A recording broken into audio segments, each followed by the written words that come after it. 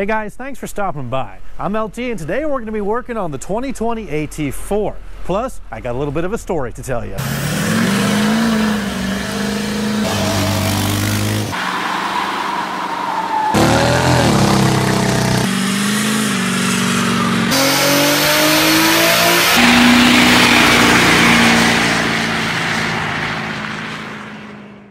It's really no secret that I'm not a huge fan of the stock wheels and tires that come on the AT4 HD. They've got this weird like six spoke design. I don't really like the black and the machine little horseshoe things on there. So I'm just going to be swapping them out for another old set of stocks that I've got kicking around. These are from a 2011 Denali, the 20 inch five star wheels. They've got a 265 60 20 on them. They're a little bit shorter than what comes on this truck. The wheels aren't in great shape. They do have just a little bit of pitting on the chrome, but that's all right. I think they look a little bit better than what's on there, and they're not permanent anyway. I'm just going to throw them on there to change it up until I pick out my final wheel and tire. But that's really not what I'm here today for. Now, I recently posted up a couple of pictures of my old truck, uh, a 1996 Chevy 1500 that started out life as a Z71 that had been lifted up six inches in the air. I did something just a little bit different, maybe a little bit unconventional. I lowered it down to the ground. I posted up a couple of pictures of it recently, and I had a few people ask me, what are the parts that you used to drop that truck down, and what did it take? Now, I've dug through my old computer, and I have a whole bunch of pictures of that old truck. So today, we're taking a stroll down memory lane. I originally traded a 99 Mustang GT for this truck, and when I got it, it was in pretty rough shape. It was originally sitting on a 6 inch lift with some 33 1250 15 BFG all terrains. Now, the lift was a really old school design. I think it was a Fabtech, but either way, the entire thing was shot. All the bushings and ball joints in the entire front suspension were worn out, so it was time to start from scratch. In order to lower the truck, all of the lift components had to go. Now, luckily, I found somebody on Craigslist who I was able to trade with for a couple of stock parts that I needed. But then I went and bought a whole bunch of new bushings and ball joints, all from Moog, and I completely replaced everything. Then, to lower the truck out back, I put a set of drop shackles in, and for the front, a set of purple GM torsion bar keys from a 2500 HD. That made the trucks hit about two inches lower in the front and four in the rear, but that wasn't low enough. So then I added a flip kit out back for a total of six inches drop, and then I decranked the torsion bars a little bit more for four up front. The thing had a really mean stance and it was killer to drive in the snow. Now, if you want to talk about a transformation of a truck, that's about as good as it gets, other than like completely painting it, restoring it, and doing an engine swap. I mean, we went from a lifted up truck with sloppy, worn out suspension to a lower down truck that you could sling around the corners like a little rally car.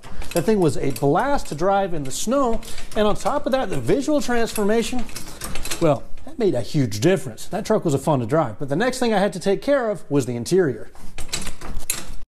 Since the truck was just about 20 years old, the inside was pretty nasty. So the carpet came completely out and it got steam cleaned along with the seat. And that made a huge difference in the look and honestly the smell of the interior.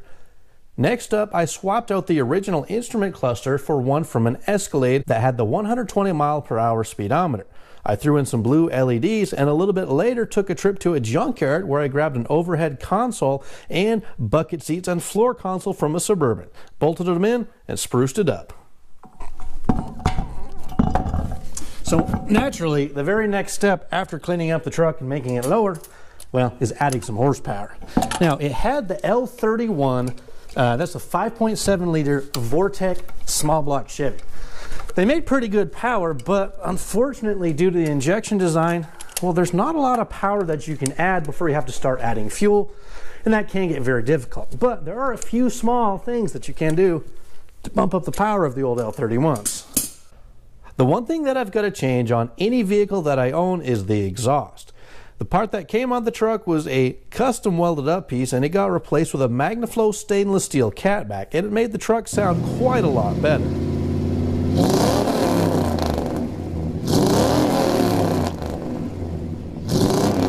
The only other modification that I made to this truck was a cam, and it actually came from a 95 LT1 Camaro. yes, it is a stock cam, and the specs are just a little bit bigger than the L31 cam that came in the truck. I believe it had about 10 degrees more duration on the intake and the exhaust side, and just a couple of thousandths more lift. Now, the reason why I went with a stock cam from another application is because I didn't have a way to tune computer. I put it on the dial, about 10 more horsepower. Now, that's not a lot, but better than nothing. I finished up the last of the modifications to the lowered Z71 in early spring of 2015, and at the time I was living in Idaho Falls, Idaho. So the question is, where's the truck now? I believe it's somewhere down in Texas, or at least that's where the last owner was taking it. You see, just a little bit after I finished up the last upgrades, I got a phone call and I was offered the job that I have today. Right now, I live just south of Nashville, Tennessee, and as you can imagine, that's quite a drive from Idaho to Tennessee, and I wasn't able to bring both trucks along for the ride. So the Black Z71, it had to go. But I do want to build another one at some point. And if you guys know what these things are right here, well, these are the torsion bar keys that allowed me to lower the front end. They're from a 2500 HD. I've got another set, so the wheels are kind of turning and I don't know when it's going to be, but I am going to build another one at some point in time. Now, speaking of wheels, the black AT4 is looking a lot better on the 20-inch Denali wheels, or at least in my opinion. Now, the tires, they are a little bit shorter than the original ones that came on this truck, but it's okay because this is not a permanent solution. If I do keep these wheels on the truck, the tires are going to come off, the wheels will get sandblasted and powder coated, probably a light silver or a gray. And as far as tires are concerned, still not entirely sure, but I do have a set of 35 inch ridge grapplers. They're just a little bit wider than the stock tires and about the same height. I might throw those on or go with like a Nitto 420 street style tire.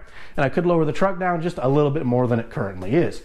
But anyway, thank you guys for watching and please hit that subscribe button and tune in for more information. Until next time, I'm LT.